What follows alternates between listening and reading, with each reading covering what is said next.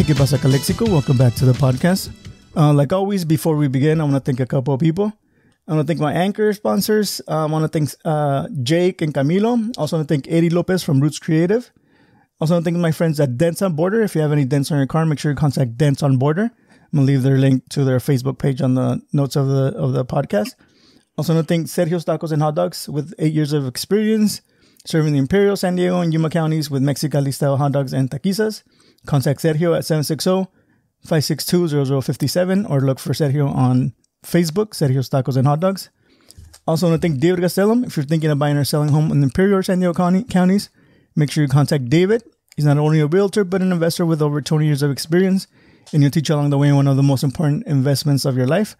So contact David at 760-235-9576 or look for him on Facebook, David Gastelum.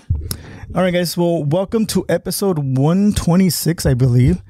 Um, today I have two really special guests. Um, I found them on Instagram and I thought they were doing some really, really cool things, especially for, um, I, I mean, growing up, for me growing up, um, I wasn't really, um, taught or we didn't really talk about, you know, the Mexican, Mexican culture or just culture in general.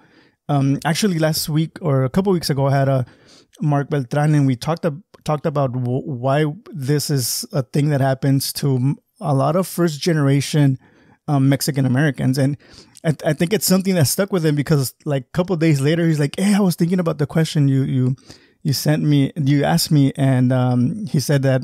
I mean, give me an, an answer to it, but I, I feel that what uh, my two guests today are doing is really important and and um, kind of um, keeping our traditions and and our culture, you know, alive, especially you know with our younger generations. Um, my guests today are Haydee Yan Yanez and he, Gisel Barrett. Mm-hmm. Um, and they're the creators and hosts of uh, Niños Book Fest. Um, thank you guys for being being on today. Gracias. Thank you. Thank you Gracias. for inviting us.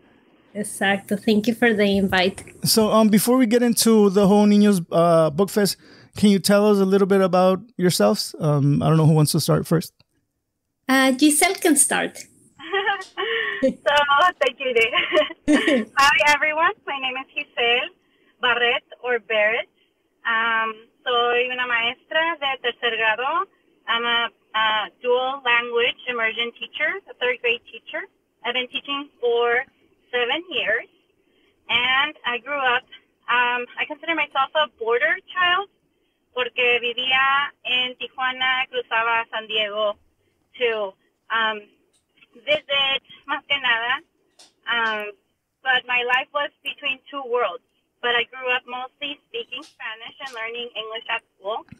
And later I went to school. I went to um, graduate school in San Diego. Well, I went to college. I did community college and then San Diego State and got my credentials there and stayed and started working at an elementary school.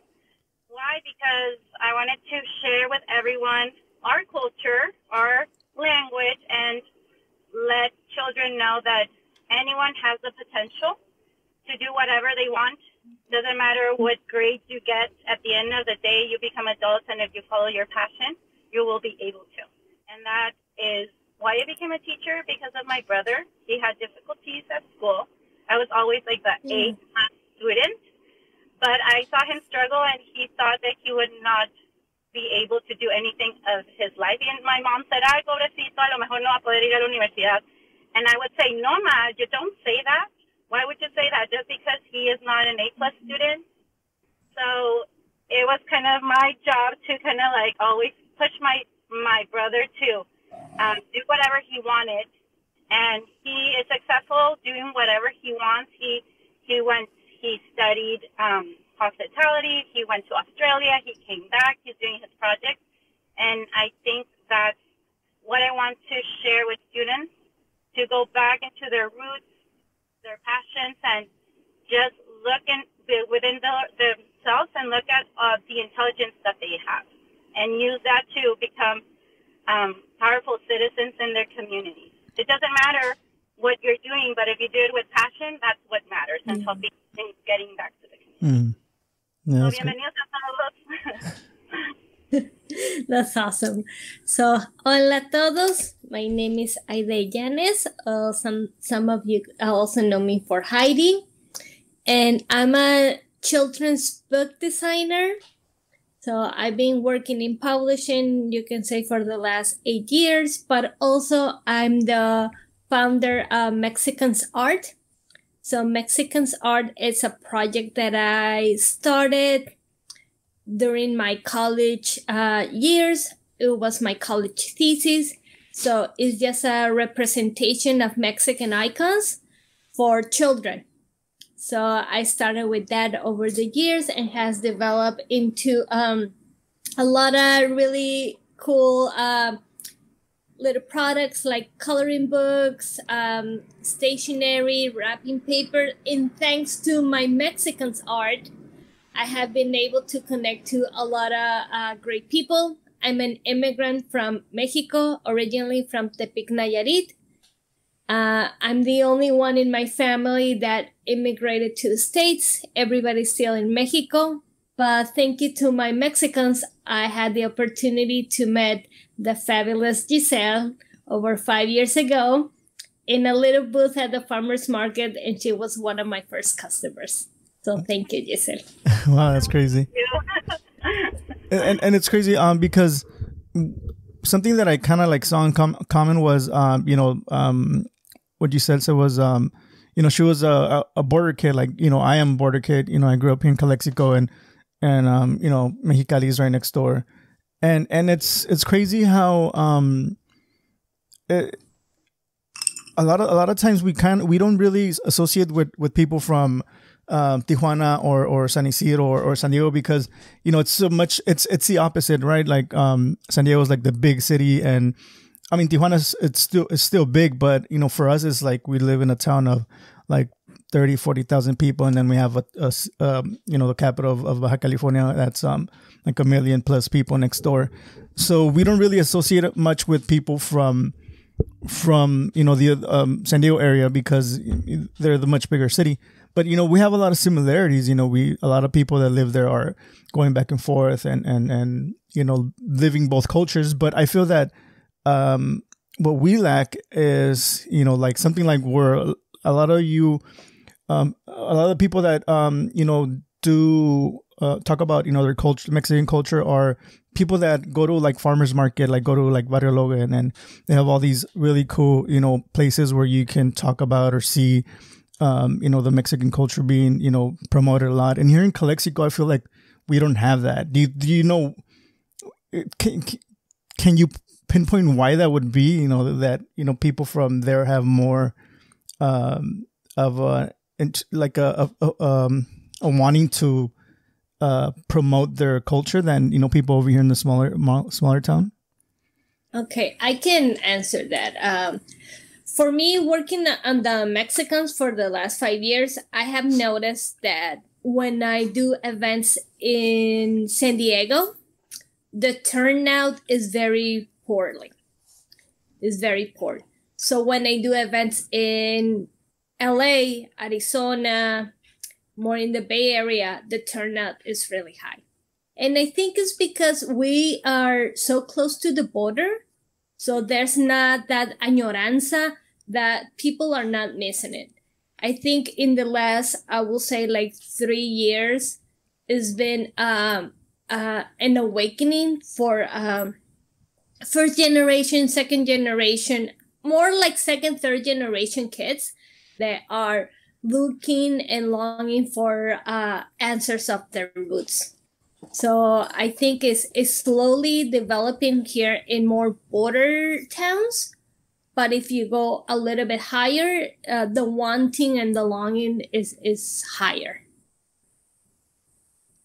Definitely. I think we take it for granted that we have everything in our hands right now. It's like we can cross the border, fortunately, and um, get some tacos or get some type of like when everyone's speaking Spanish, go to the mercado. You have that at walking distance. And um, I know that there's markets in LA, um, but just having family so close, it's like voy a casa de mi abuela or voy a con mis primos or um, it's definitely different. I my friend who um, was a uh, teacher in LA, she she told me there's like the culture in LA is so different from the culture. It's like different cultures. Being like the border town girl, where I can just cross and come back in a couple of hours and go to Ensenada, Rosarito. I can go to Mexicali and just have Mexico so near that sometimes we we take it for granted. It's como que I don't like it, it's funny because we do our Mexican fiesta at our school, and um, we wear proudly our, our Mexican shirts, las, las blusas bien bonitas de diferentes estados. But growing up in, in Mexico, or even like new teachers from um, that they come from Mexico, they're like, I never wear las blusas mexicanas, nunca hasta ahorita que soy maestra. Like I would never go and buy something. And that's true. Like growing up, I would never go and my mom would buy me anything that was like folklorico until right now as an adult. It's like I want to represent to my students and to people all of the diff- different cultures around Mexico because it's not only one culture, there's so many different ones. Yeah. So as border kids, we take it for granted and there's no conversations between like, unless you're really into history and your own roots, hmm como ir a preguntarle a tu abuela, where really are you from?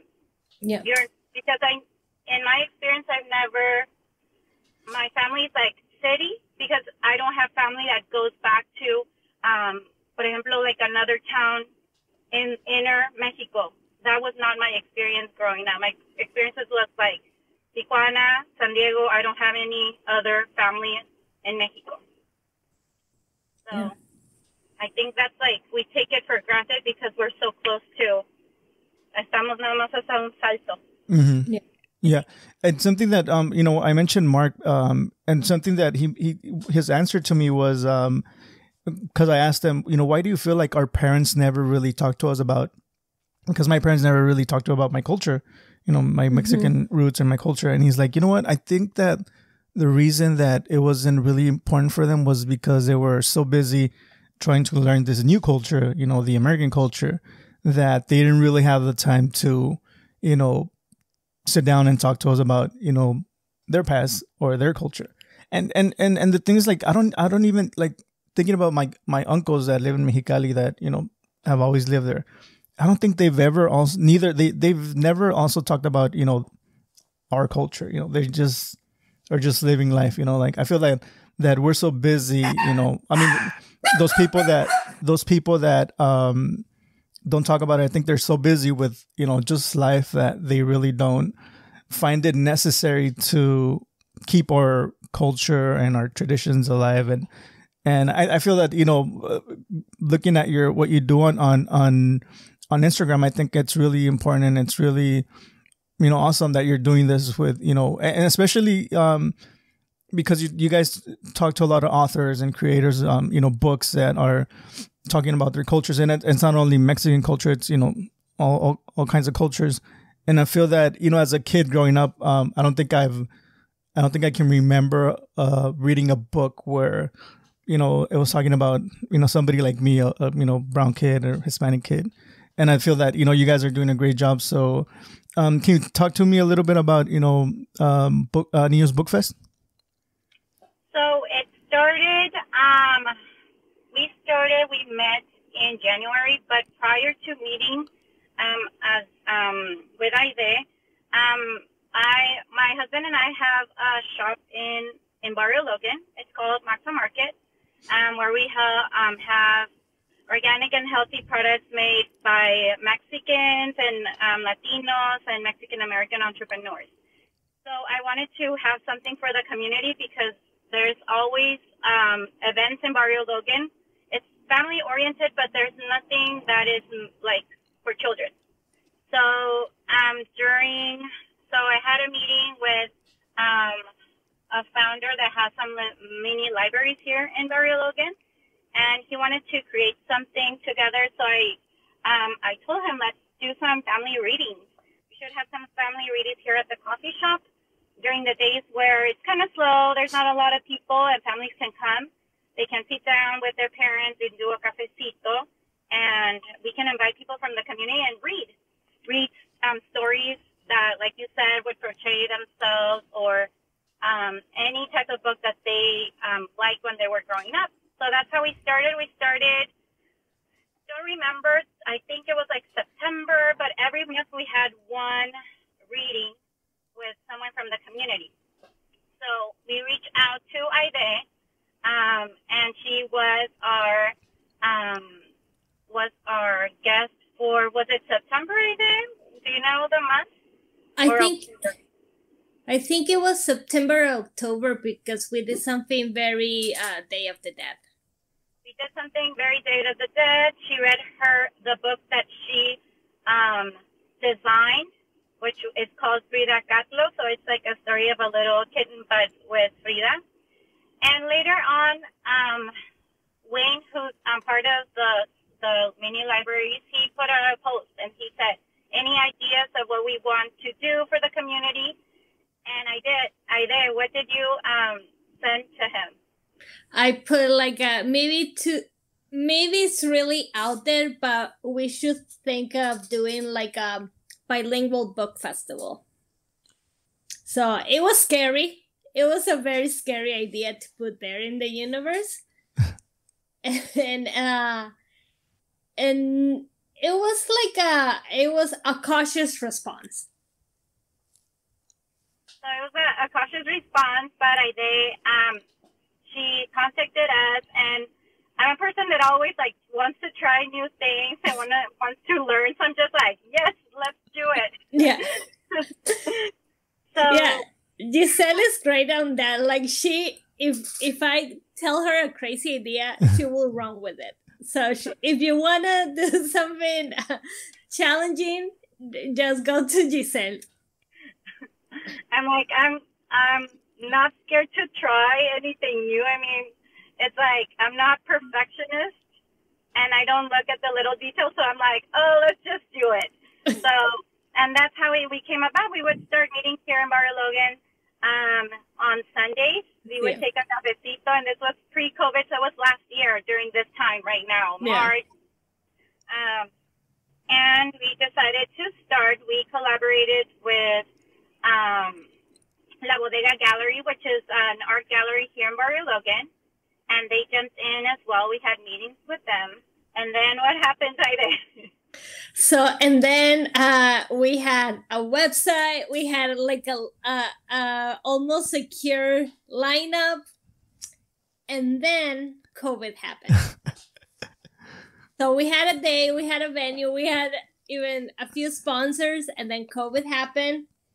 And then uh people started getting scared. People started like uh backing out of the event. Like they, they weren't gonna do it.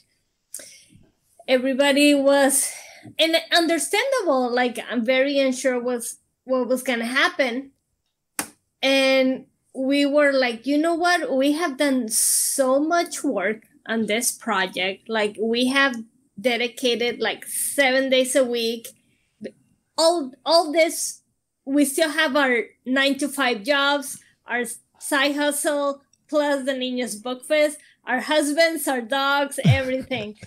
So uh, we had spent so many hours and we thought let's just do it virtually. I think that would be also a great opportunity for us to try something that is new and to see the response. Definitely. And um, it was um, it was a success i mean like you said it's easier to to have people join in the cause when everyone's online and there's mostly at home, um, and we didn't have a um, like a big expectation of how many people would join and like authors join us because we were new, nobody knew us. Um, but we really wanted to advocate for um, the Spanish um, books written by um, Latino authors, Latinx authors, or even bring. We also brought um, from the Filipino community um, to kind of be inclusive and, and have that opportunity of languages. But um, we had a lot of people um, reach out to us that they wanted to be. And before we, I think we only had one day, right, Haydee? Yes, the original plan when we had the venue, it was one day for four hours. Just four hours to interact with people, give free books, have uh, uh, craft events, shows, like stuff like that. A few vendors, most of them local because nobody wanted to travel and and risk because we they didn't know us.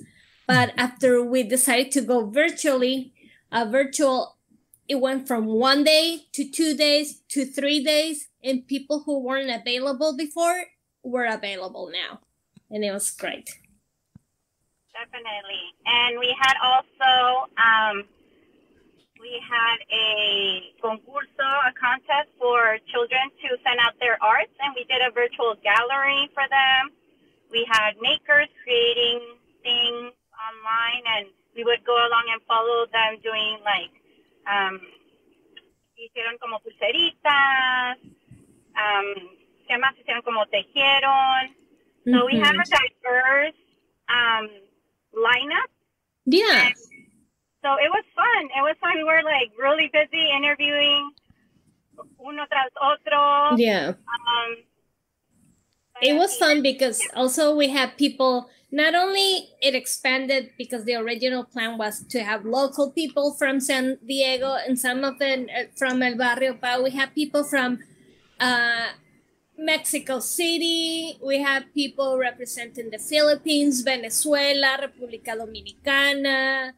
Uh, it, it was so great. And also, um, we had giveaways. People were also like the authors were willing to give a book and before they weren't they weren't sure. So they were like hey i want to give a book.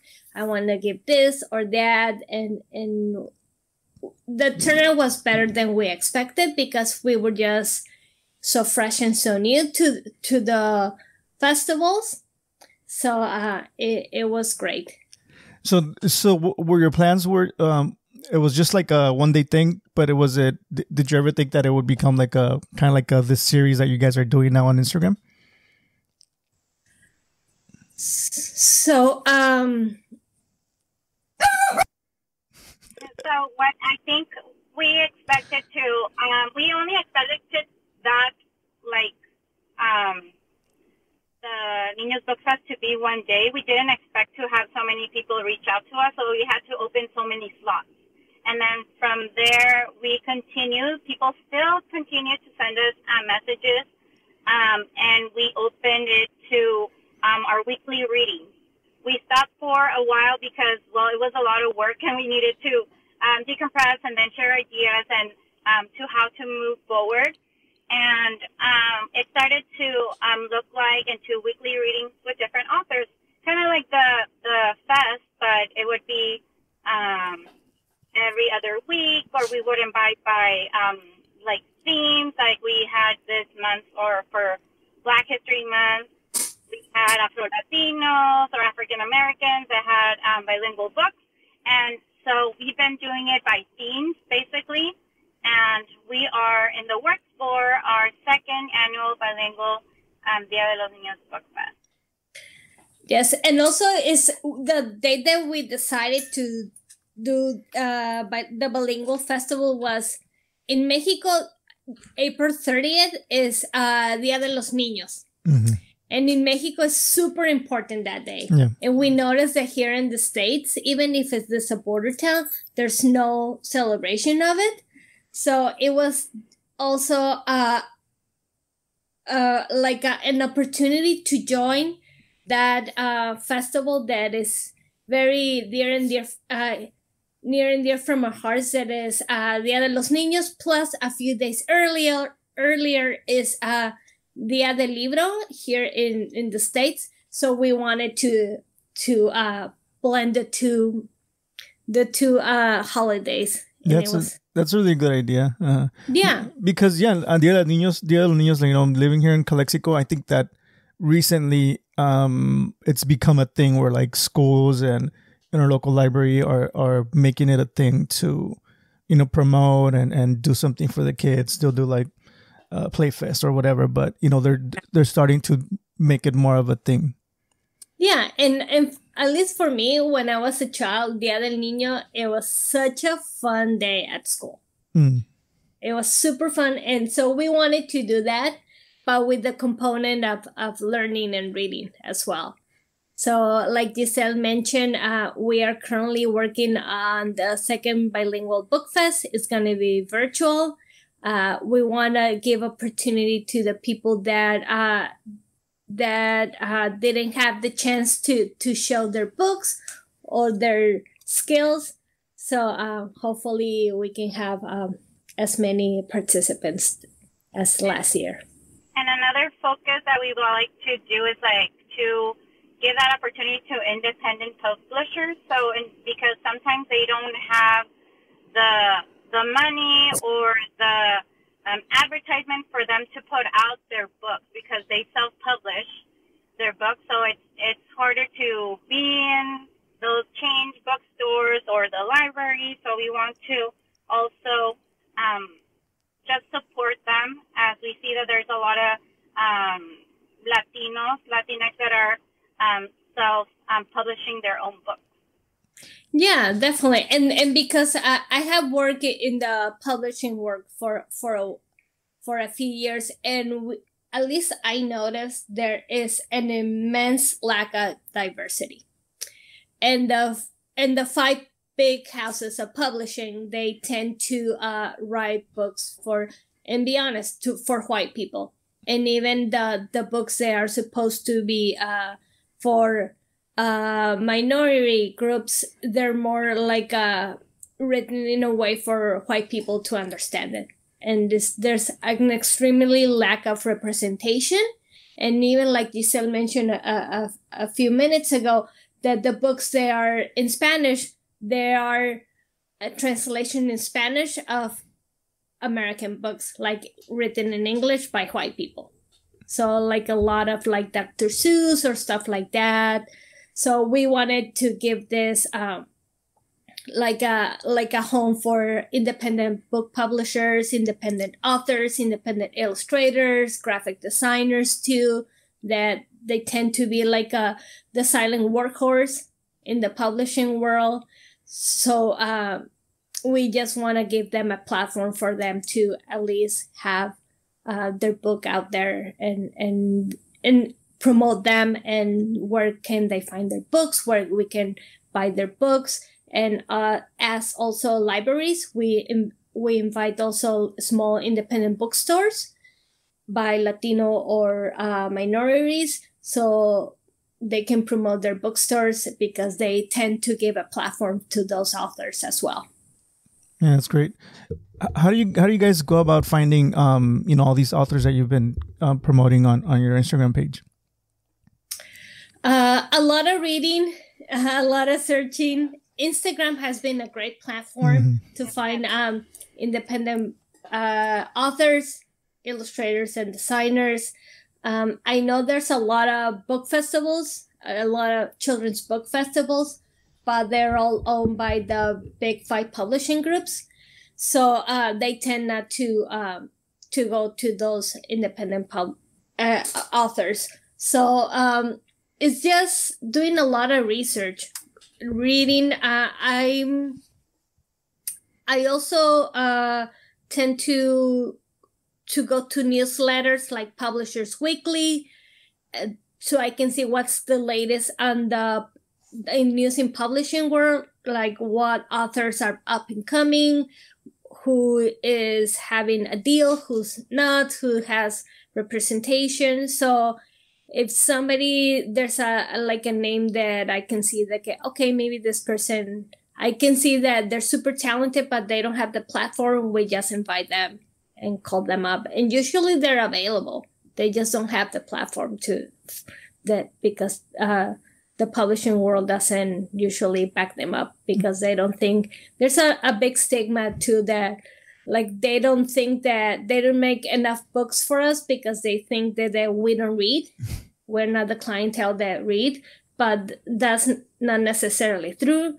Um, there's not books for us because they don't want to give us that platform.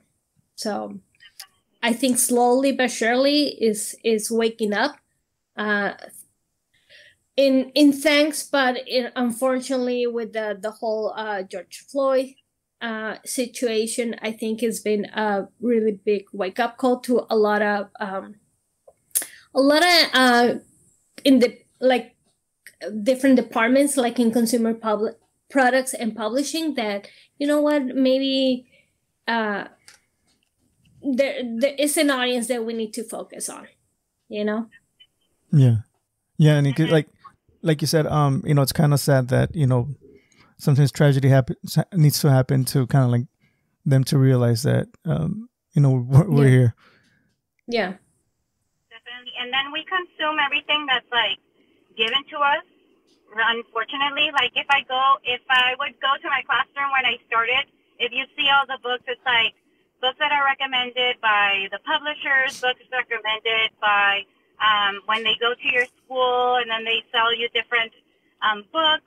So you buy those books because that's the only option that you have, and you don't really go about to go and research. So unfortunately, if you go to my library of books in my classroom, you have all the same books that everybody has, but you don't branch out. And thanks to um, Niños Book Fest, I was able to learn more about different um, Latinx authors and started to buy their books and started to um, share the platform. And then it's so cool that you can, like, I would um, share with my students like a video. I'm like, remember that we read this book? This is the author. So you have that resource now where um, we um, help or we're trying to build a community where you can see that there's more than the same books that you see at the bookstores. More books with diverse um, themes, diverse um, characters, settings that go along where where you're from. Like you said, that you didn't have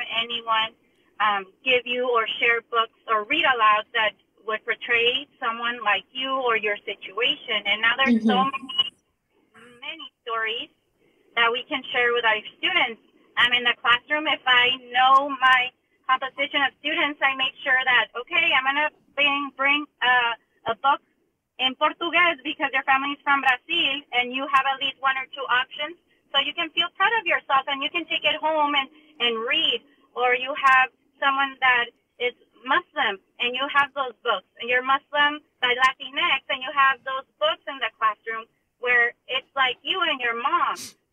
Um, So Mhm. it's just so important to bring that diversity in the classroom and um, also brought about your own books that go along with your classroom or your family um, Mhm. experience.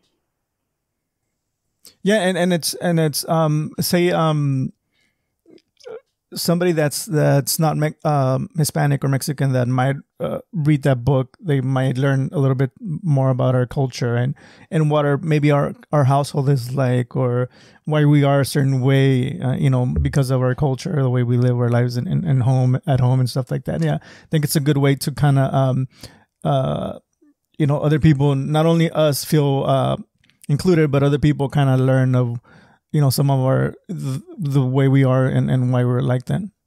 Yeah, definitely. And I think mostly, uh, uh, like you were talking about, like a lot of generations from our parents, our grandparents, like when they first migrated here. I think there's a, a there's a big stigma that they grew up that they were they had to choose either you could be this or be that. Either you're gonna speak English or speak Spanish. It was almost an ultimatum to them. But now I think the kids in this new newer generation they were like you know what? I can be both and there's nothing wrong with it. Like uh, bilingual is an asset. So it's a skill that is gonna take me uh, further. And also when you have bi- more bilingual books either from spanish portuguese uh, from um, different languages it also it it creates a culture of empathy, like you mentioned. So we need to have more options and in every shape, way, or form to create that culture of empathy that I think has been lacking for the last few years. And I think something as simple as a book can create that. Yeah. Um, and it's funny how you guys were were talking about how um in the beginning not a lot of people were um willing or comfortable and and being part of the book fest. Um, and because it happened to me when I was when I first started, you know, with a podcast. Um, you know, uh, people were like kind of vetting me, like kind of like, who are you? Like, why do you want to talk to me? Or or you know, what's especially uh, when it came to people um that were like uh, city council or the city manager like people think always think that um you know they're you're out to get them or you're trying to like go get this aha moment but. But you know at the beginning to like you mentioned um it was hard for you to get more people but now you know i see that it's become like a weekly thing that you guys are having guests um every week um do you think most of these people that are you know you've, you've talked um are going to be part of the next uh book fest yeah, we hope so. We hope so. We had an um, um an amazing uh there's some of our uh like different guests that we had that had really connected with the audience. So we had hopefully they can have the time because also they're busy uh to to get them back. So and someone as I mean there's one author that every time I talk to him, he touches my heart tremendously. That is uh, Rene Colato, and he's the sweetest man, and he's also a teacher. Mm. And but there's something about him that it just resonates so much with me, and I'm pretty sure uh, some of our listeners have their favorite authors as well. Who who does the artwork for like all of your posts? I think it's a combination of the both of us no, no, no. All the artwork is Haydee. She's a graphic designer. Um, she does beautiful artwork. So um, I help out in other um, situations, but all the artwork is made by Haydee and her creativity. So props to you, Haydee. Do not include me in your art because I don't talk about Alex yeah, that's something that you know. Something that I always you know when I see your posts is like, it's so colorful. It's so you know mm, these colors that I think represent our culture um, a lot. Mm-hmm. Uh, and yeah, like it's always like I, I always enjoy watching you know your posts, um, and and not only your posts, but you know your your, your interviews and your and your reads. But something that always catches my eye is you know your your art, you know the way you you you you uh, promote your your your events and stuff like that. It's really really really amazing. Props to you. Oh, thank you. um, can, can, you tell us a little bit? I know you, you talked about your your favorite get, well, one of the persons that you you enjoy talking to, but can you tell us a little bit more um about most some of the guests that you've had on? So, uh, okay, go ahead. Uh, we just recently had another guest that it was um Ty Allen Jackson. So he had a book called um, Donnie Dollar, and he talked about uh, the importance of saving in like in the black community, and also it can translate to uh, another um, cultures or a lot of communities like the Latino. And it was such a an amazing and fresh conversation because also as Latino, you don't talk about money, you know, you have the stigma. Es, eres una grosera si le preguntas a tu papá cuánto gana, ¿no?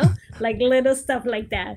And he just simplified it and and made a book about it for kids to, to start investing, to start getting familiar with those words. And we had a lot of um like positive feedback. So I think something as simple also as like and and challenging, simple and challenging, like money, uh, just to make it so accessible for us because sometimes we is it they separ- separate us from those those type type of uh, topics and i think it's important mm-hmm. definitely another author that we've had is Naibe Reynoso uh-oh we lost her so, Okay, I can uh, talk about Naibe. Naibe Reynoso, she is the founder of Con Todo Press. So she's an amazing lady. She is like super, super talented. She's definitely like a hustler She's, uh, I think she's a, a, reporter, a journalist, plus she has her own publishing company that she started a few years ago that is Con Todo Press. And she's always been very uh, open and uh, accessible for us. So um, she's just a great lady. She has a book about uh, different Latinos in Latinas in history, different Latinos in history, and she just uh, had a new book that is how to fold a taco. And that was really fun like what she loves about a taco. Oh, i guess we lost um Gisel. Gisel. yeah. Well, maybe she'll be back right now but yeah she'll be back. Yeah. Um so you know it's crazy how you this started as a as a kind of like a book fest and now it's evolved into you know this weekly reading thing. And and i really hope that you know I mean, I'm gonna really promote it a lot. You know, your Instagram page because Thank I feel you. it's it's it's important to to get to know about our culture and different cultures and and it's and it's fun to see, like you said, um, what Ty um mentioned in his book or what he the book he wrote. You know, it's really important that you know they're they're finding ways to um kind of teach uh our generation young generations on how to save money or or you know all these different things that that we normally don't talk about in our in our families or at mm-hmm. school. Um, but but yeah, it's really really you know, like I said, like it's it, every time I see your your Instagram page, it's it's really fun. It's really col- colorful. It's really you know, it's it's it's a happy place. To, uh, like at least for me, I see it's it's a happy place, and and I can see how you know how you're you're you're re- trying to reach you know families and kids yeah definitely. That's the goal. I mean to and to have something that's accessible because everybody has access to a book. Even maybe you don't have uh like the means at that moment to purchase the latest brightest copy of a, a book but you can go to your local library. Mm-hmm. you know you can go to school and and and access that book. And something as simple it can create a lot of impact for you like uh, for me books created a lot of impact in, in my childhood and books that my grandfather shared with me. Like uh, he i knew that every time i go to his uh, uh, house when i visited on the weekends there will be a stack of comic books for me or a brand new book or an old book or something like that. And it's something that we share uh, as a family. So hopefully we we want to to encourage parents to to start reading more with their kids and there's a lot of options that now they, they can see themselves not only as an individual but as a family mm-hmm. yeah and, and it's funny you know earlier you guys mentioned um like Do- dr seuss or you know all these books that you know growing up you would see at your you know in your classroom, you know, teacher the teacher had like this little library, like these are all the books that you normally saw. Um, and you know, looking at the the books that you guys promote and read, you know, it's it's it's a lot like a version of you know those books that we read growing up as as kids, but you know, it's relating to us. It's talking it's talking to us, and and it's it's really um encouraging to see that and and you know I don't know if I haven't been to my library since a while back, but mm-hmm. you know, I'm I'm gonna see if once we we can go back to the library, I'm gonna see if you know they have some of these books and authors, and if they don't, you know, I'm, I'm definitely gonna you know ask my library to see if they can get get some copies of this. Yeah, and also this one of the things that we advocate too. That okay, maybe your library doesn't have it maybe your local bookstore doesn't have it but you can ask for it even if you go to barnes and noble you can ask for it and keep asking for it and the demand is going to be so high that they're going to put it there mm. so uh, i think that's also uh, like uh, something important not only okay i purchased the book if it's available but if it's not available i'm going to make some noise so they can have it in my local library or in my bookstore or something like that. And, hi, Gisel. back. Sorry, my phone is like it was too hot, so it's like emergency hot temperature. and also, we are very careful, uh, Gisel and I, that uh, to go if we're gonna find um, a book like a theme book or something like that that is it it goes with it like i know that it was gonna be uh like black history month make sure they they're afro latinos because sometimes we go and and we see a book maybe from with some afro latino characters but it's written by a white person or illustrated by a white person or someone that has nothing to do with that culture and although, okay, it's is we're grateful that this book is, exists, but also it's given uh, people of color and minorities a platform so they can shine. Yeah, definitely. Uh-huh. Um, so just you know, um, you know, we talked a lot about yourself and and and the and the Instagram page. Um, is there anything else that you know you guys would like to add um, before we any closing thoughts? I know um, um Gisel's phone's burning up, so like I kind of wanna wanna uh, kind of close up. But yeah, any any any closing thoughts that you guys would like to add? I think we just want to thank you, Que Pasa Calexico, for reaching out and give us also a platform to share to everyone that uh, we should be proud of our heritage and we should advocate for um, authors that are Latinx and they are um, sharing our stories. And you, the only way that you can support them is like it's by following them, reaching out to them, but also asking for their books to your local libraries and bookstores. That's what I learned from Haydee. That when you do that, it's like you give a voice to them that they are needed in our community. Yeah, most definitely. Yeah, definitely. Thank you. Thank you, Jose, for the platform. Uh, we're really grateful for this opportunity. And yes, to our followers and listeners that we're working really hard for making the second bilingual book fest happen. Hopefully we can have share some news soon. And um and if someone is interested in participating, just send us a DM at Niños uh, Book Fest or an email at ninosbookfest at gmail.com. We will love to hear from you. We will love to support you, promote you, whatever is necessary. We are a community and we are here for each other. Yeah, most definitely. Um, and I want to thank you guys for taking this time um, and talking to me. I really appreciate it. Um, you know, I really appreciate the work that you're doing.